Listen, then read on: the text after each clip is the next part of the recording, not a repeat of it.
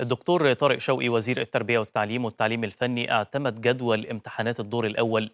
لشهادة إتمام الدراسة الثانوية العامة بجمهورية مصر العربية وده للعام الدراسي الحالي 2018-2019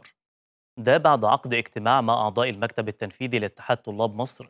للاستماع لملاحظات الطلاب وآرائهم بشأن جدول الامتحانات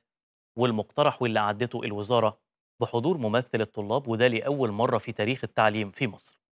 كمان تم عمل استطلاع رأي حوالين المواعيد في جدول الامتحانات على الموقع الرسمي لوزارة التربية والتعليم والتعليم الفني والصفحة الرسمية بموقع التواصل الاجتماعي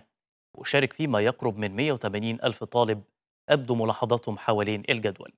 امتحانات الدور الأول لشهادة إتمام الدراسة الثانوية العامة للعام الدراسي الحالي هيبدأ اعتبارا من يوم السبت الموافق 8 يونيو 2019 وبيستمر لحد يوم الأربعاء الموافق. 3 يوليو 2019